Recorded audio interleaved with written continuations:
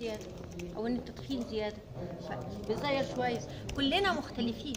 فلازم نربي ولادنا على الاختلاف على تقبل الإختلاف. دي أهمية الدمج. ودي أهمية الدمج. ولازم نعمل الدمج صح.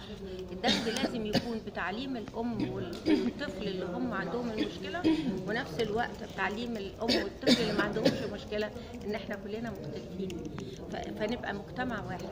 عشان كده إحنا بنقول المشروع بتاعنا اللي هو حلمنا وهنحققه آه، بنقول ما بنقولش children with special need أو الأطفال ذوي الاحتياجات الخاصة بنقول this is ability هذه قدرة.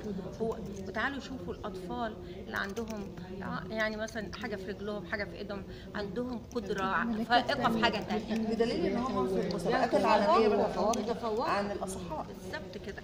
فإحنا عايزين نشوف بقى إيه نجيب هو تالنتد ربنا. ما بيظلمش حد.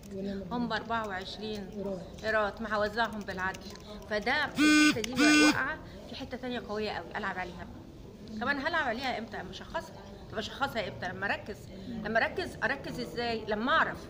لأن العين بتشوف اللي المخ عارفه. أنا لو ما قلتلكيش إن الطفل اللي ما بيسمعش بيعمل كده من ناحية الودن لأن هو مش سامع فبيركز على الناحية اللي هو مش سامع فيها فدايما بيبقوا مايلين كده. مش هتعرفي لو عمل كده تقول ده رقبته بتوجعه. هو في إيه؟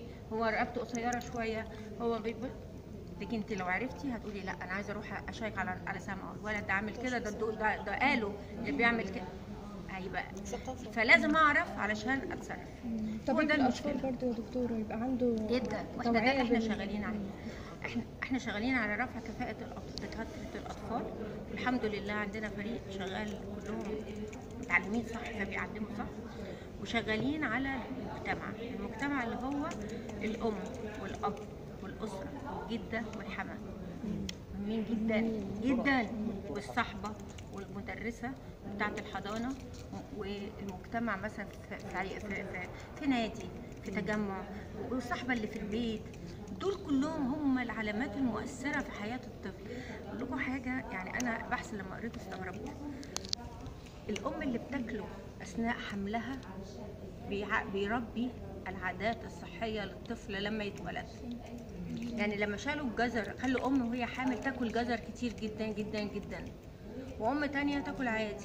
ولدوا الطفل جم للام اللي كانت بتاكل جزر كتير قوي شالوا الجزر من أكل البيبي لما جم يدفنوه خالص. الواد مش عايز ياكل.